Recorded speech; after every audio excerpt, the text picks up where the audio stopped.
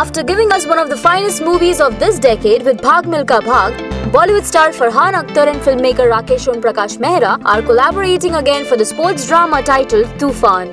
While the film is expected to go on floors soon, Farhan Akhtar, who will be playing the role of a boxer, has started the prepping for his character with former world kickboxing champion Drew Neal. The actor shared a clip from the training session and captioned it, It's not just about strength but speed as well. Hashtag Toofan in the making.